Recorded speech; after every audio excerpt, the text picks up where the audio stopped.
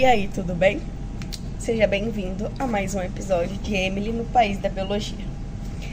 Hoje vamos falar um pouco mais sobre os hábitos que temos no nosso dia a dia, que tem total relação com o nosso último assunto tratado no podcast. Depois dá uma olhadinha, vale a pena assistir. Lá a gente aborda muito sobre a nossa microbiota e como ela funciona. Aqui vamos falar sobre tudo o que pode influenciar no bom ou mau funcionamento delas, certo?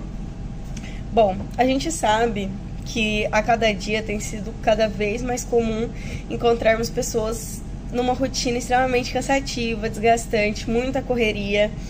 Estou aqui em lugar de fala porque eu trabalho em período integral e ainda faço faculdade à noite, então eu sei que às vezes fica puxado, principalmente para pessoas como eu que moram bastante longe, tanto do trabalho quanto da faculdade. E eu sei que às vezes a gente dá uma vacilada na alimentação. Eu sei que a gente nem sempre consegue estar tá praticando ali exercícios físicos. E querendo ou não, a gente vê que as gerações atuais mal têm contato ali com leguminosas, verduras. Fora que o tempo que a gente tem que destinar para poder produzir esses alimentos, para poder consumir da melhor maneira possível, é um tempo qual a gente no momento não consegue desempenhar para isso não tem um momento que a gente consegue reservar para poder é, tratar desse, desse autocuidado, certo? E, querendo ou não, esse é um tipo de rotina que vai afetar diretamente o nosso corpo. Por quê? Quanto menos diversidade de alimentos entram no nosso corpo, menos coisas ele vai conseguir trabalhar em relação a isso. Um exemplo bem claro disso é, por exemplo, as crianças que entram na creche desde muito cedo e elas acabam compartilhando muitos, é, muitas viroses, são vários sistemas virais, várias bactérias diferentes. E isso, querendo ou não, é algo que vai ajudar extremamente, assim, vai fazer muita diferença lá no futuro na imunidade dessa pessoa. E você consegue perceber nitidamente a diferença entre a saúde de alguém que conseguiu ter bastante contato com esses tipos de micro-organismos e uma pessoa que praticamente não teve dentro do nosso corpo, com a nossa alimentação, vai acontecer da mesma maneira.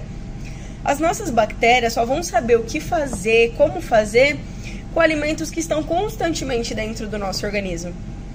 Acredito que você não saiba, mas já existem muitas pesquisas hoje que afirmam que essas bactérias da nossa microbiota, elas têm relação assim, praticamente direta com a nossa produção hormonal, por exemplo, elas podem determinar quando a gente vai ficar triste, quando a gente vai ficar ansioso. Por isso que se fala muito sobre a atenção que a gente não tem dado ao nosso intestino, a nossa é, boa alimentação.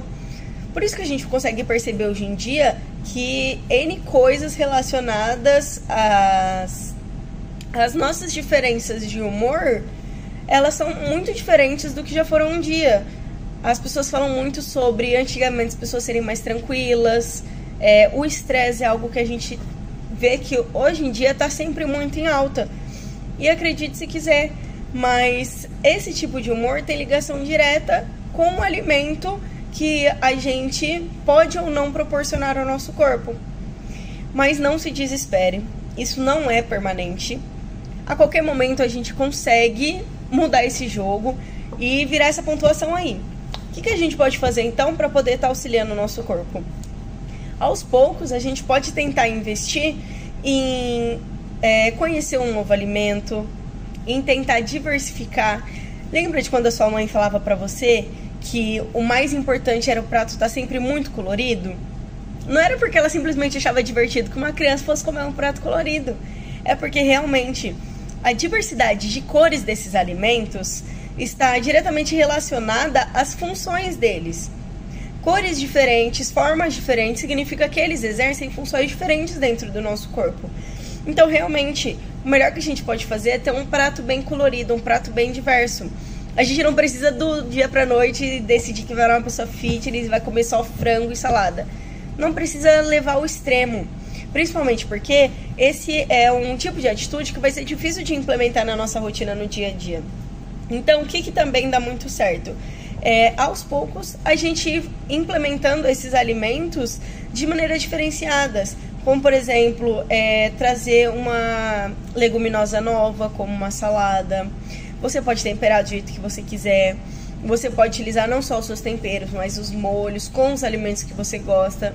Uma técnica que hoje é muito utilizada é triturar legumes, verduras e utilizar como um molho de tomate para macarrão, para que as crianças consigam ter contato com esse tipo de alimento.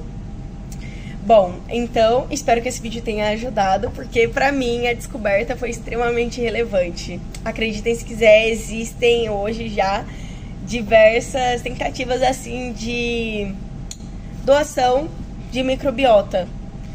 Justamente porque um corpo está em um déficit tão grande que é necessário que microbiota de um outro organismo possa entrar em contato. Então, assim, espero que vocês entendam que realmente essas são bactérias de grande relevância, não só para nossa vida, mas principalmente para o nosso humor, gente. Como é bom ser feliz.